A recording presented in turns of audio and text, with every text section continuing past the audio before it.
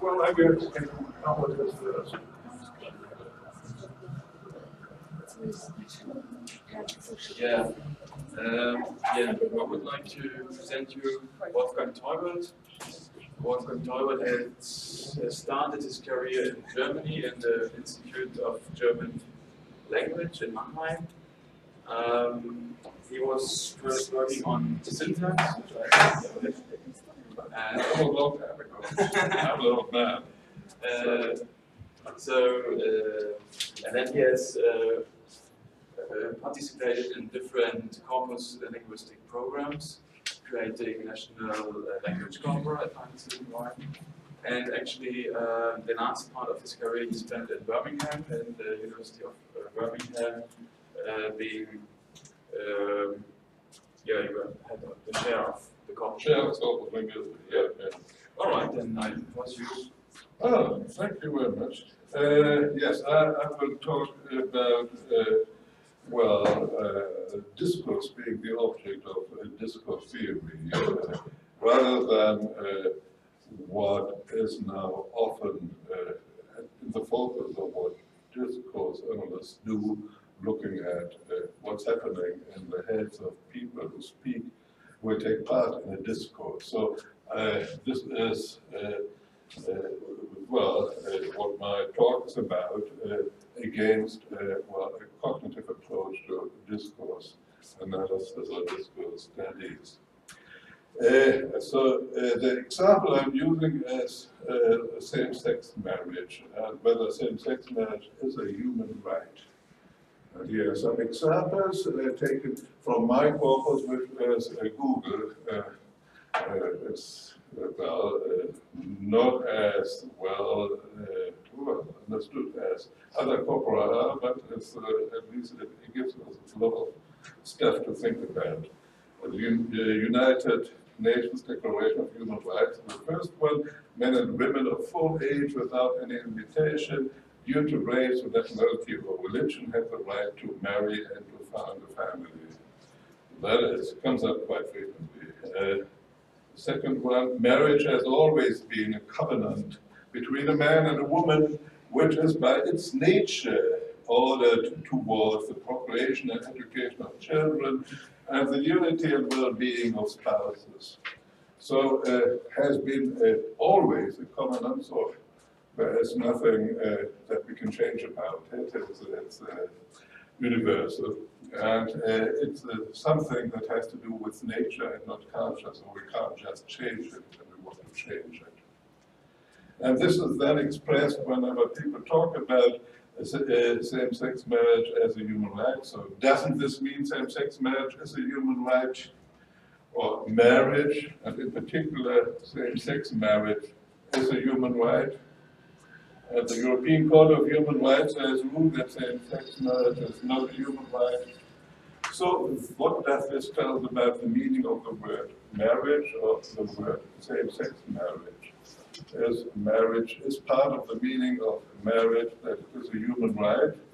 Uh, should it be part of the meaning or should it, uh, what about same-sex marriage? Is that a human right or not a human right?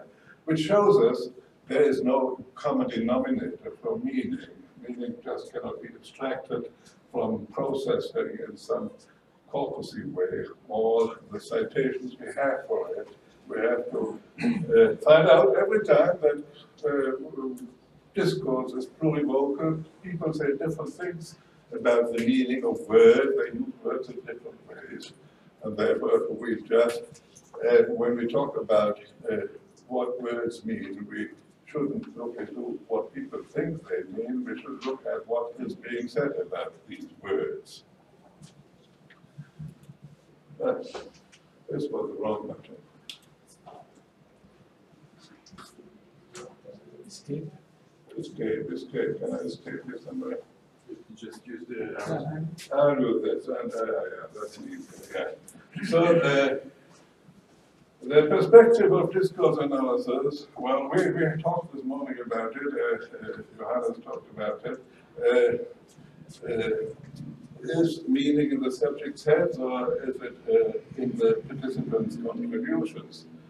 Uh, well, Hilary Putnam, of course, said many, many years ago, 30 years, 40 years ago, we cannot look into people's heads. But then, of course, he didn't think that we should look at the discourse in those days. It thought uh, the meaning is what things are in reality.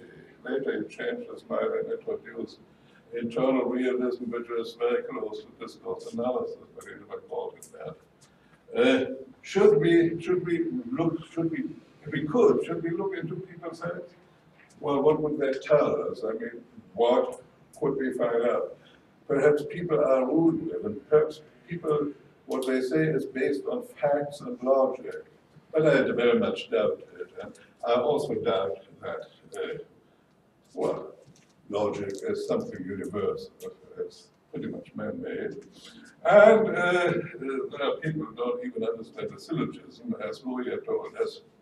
And we also have no idea what a fact is, because facts have to be somehow, well, contributed to discourse, and so they are discourse objects, and they don't have anything to do with reality.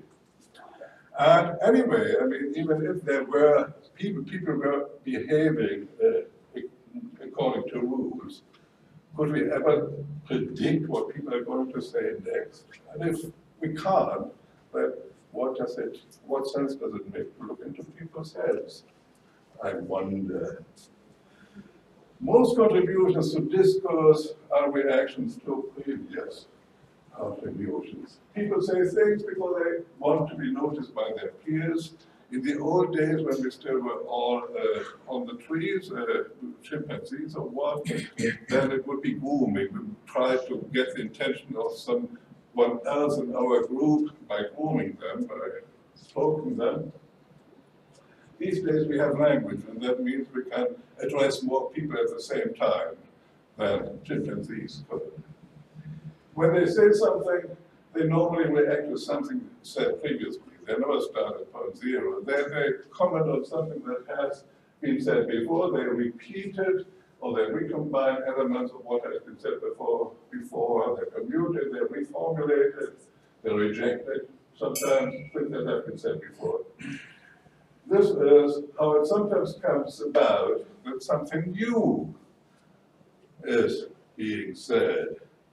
So what we do when we talk, when we react to something that has been said, we use elements that have been used before, but we replace them lexical items or phrases or single words. We can, we can place them in a new context. And if you place them in a new context, then this has an effect on its meaning. It adds to what has been said about this word already.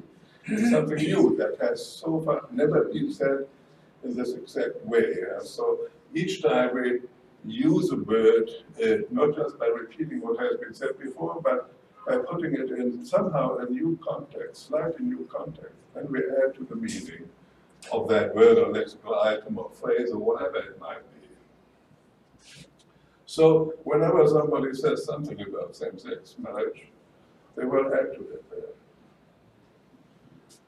And humans, uh, people have achieved their goal, and they have effected a change if somebody else picks up on what they have said. So if I say something new and nobody picks up on it, which is normally the case, then it just won't have had any effect. And, and it's not, it hasn't had an impact on discourse.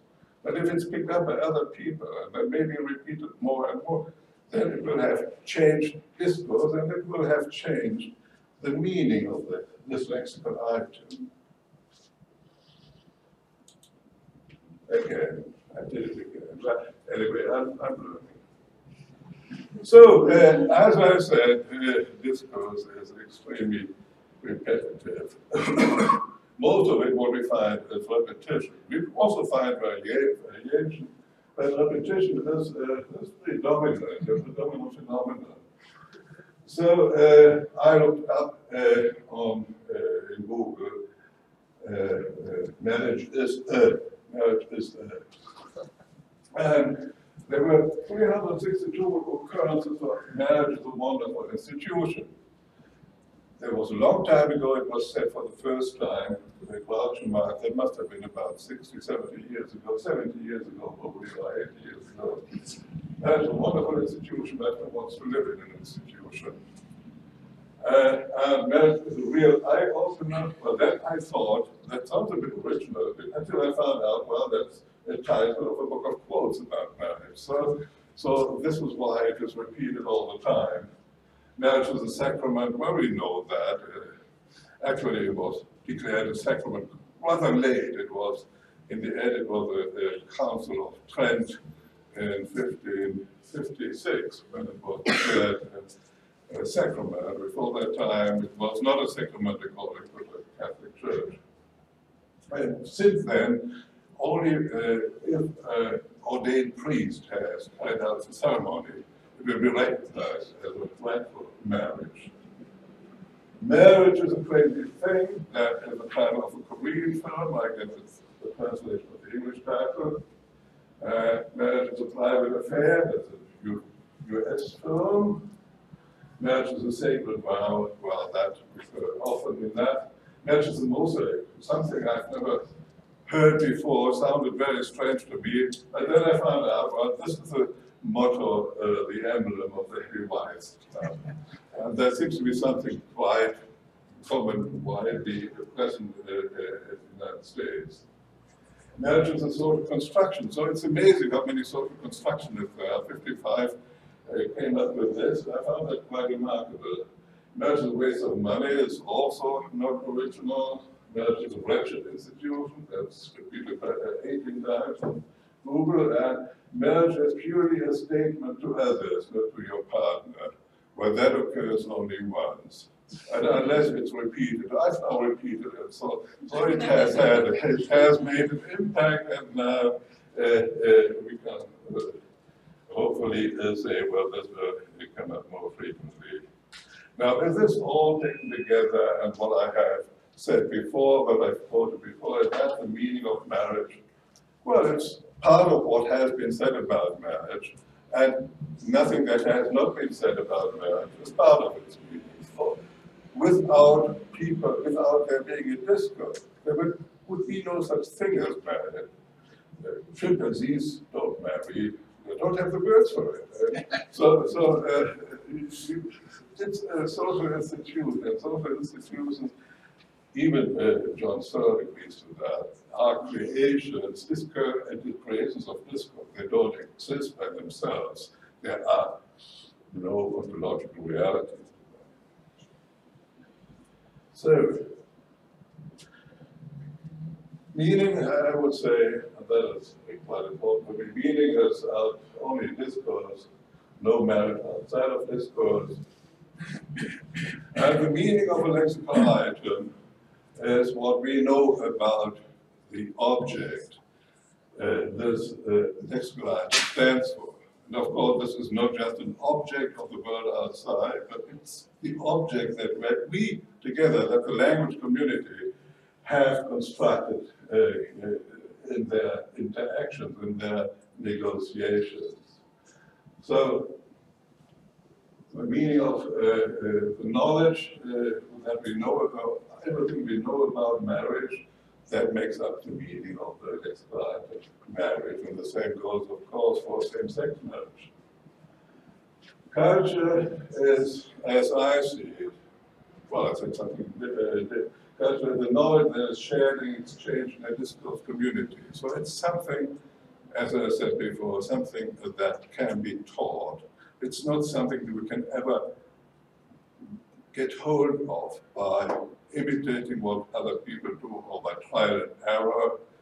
Sometimes some people try to understand marriage by trial and error, and second, third, and fourth, fifth time.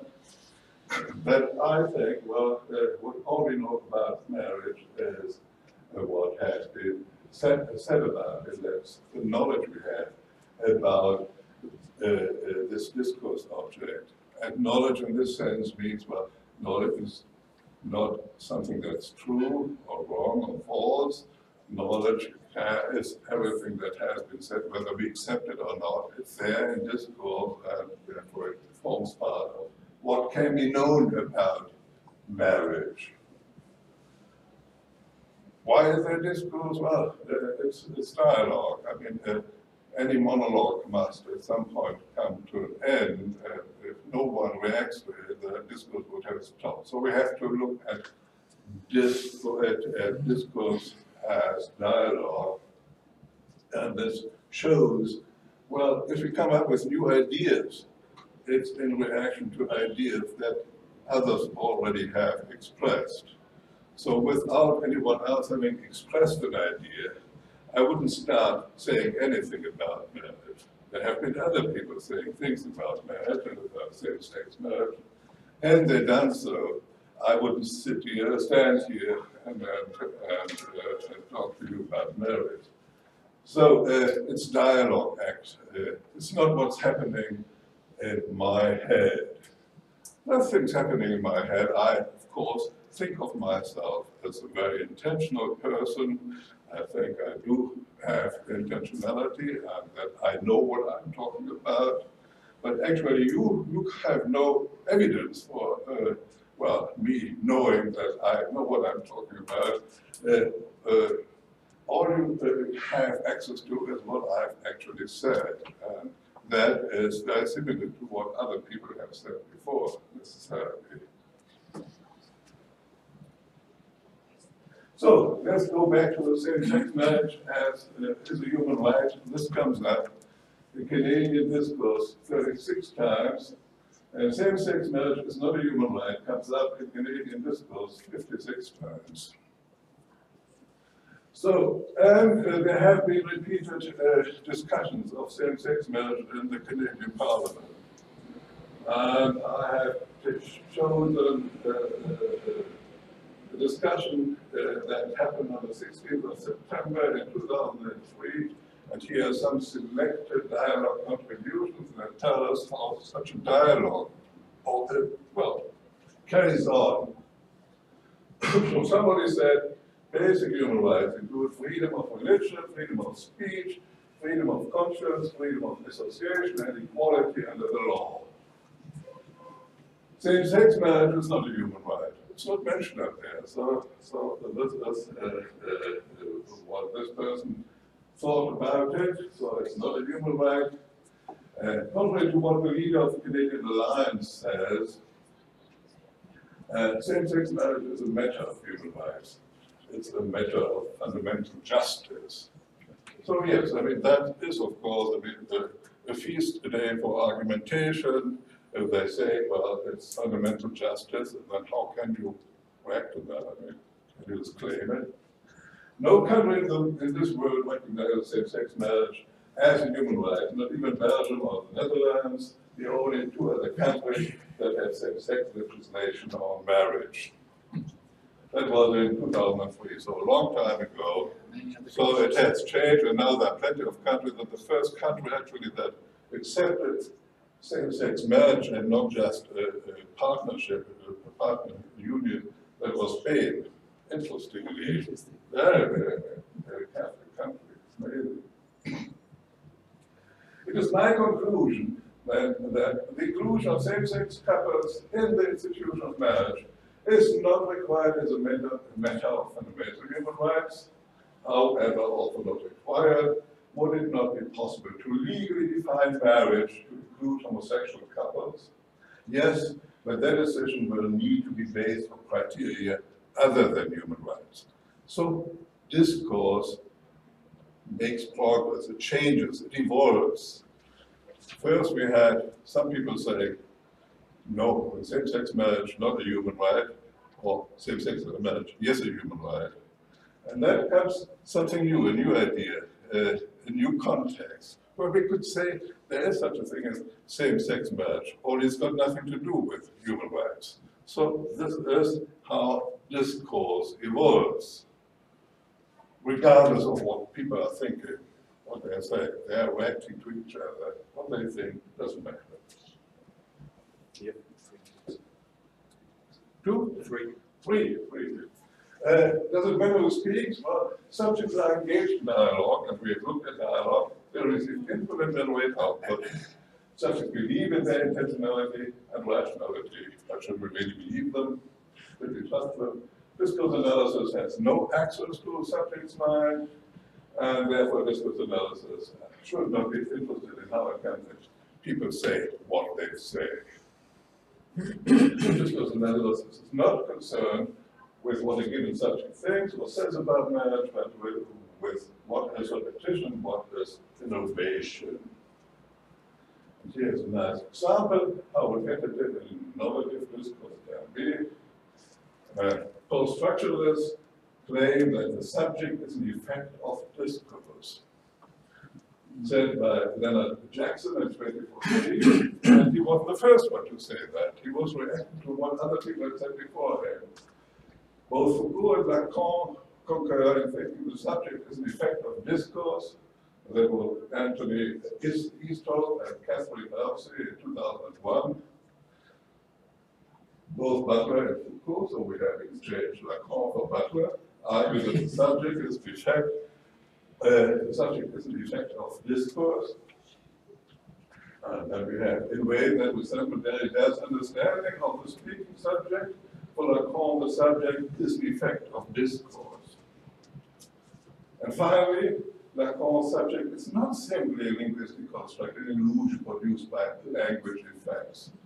So uh, you can say everything you want to, but you have, of course, to stay within your network. There is a network of those saying the subject is the effect of discourse.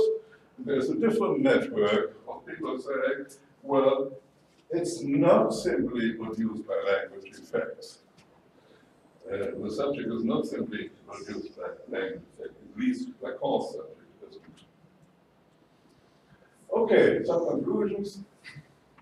Subject is a discourse construct just like marriage. The subject we need it for discourse analysis. I don't think necessarily do.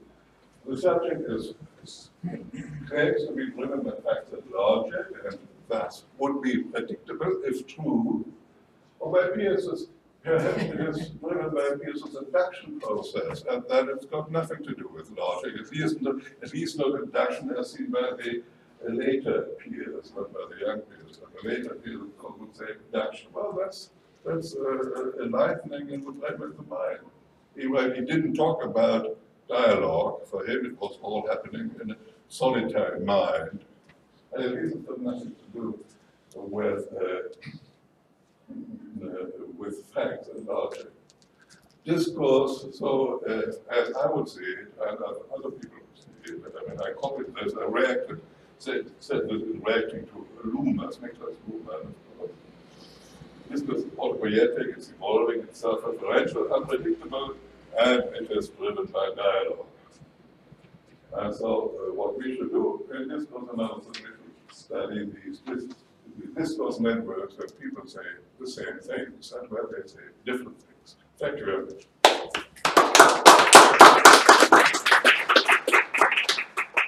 Thank you. Are there any questions? That's great. Thank you for uh, very interesting talk. I have a very small question. Uh, you spoke about marriage. I learned in my sociology bachelor degree that marriage is a very important brick, that stays at the base of the society, right? And nowadays, if we diminish this, if you allow me to call it like phenomenon, will we still have an equilibrated, healthy society if will not have? Thank you.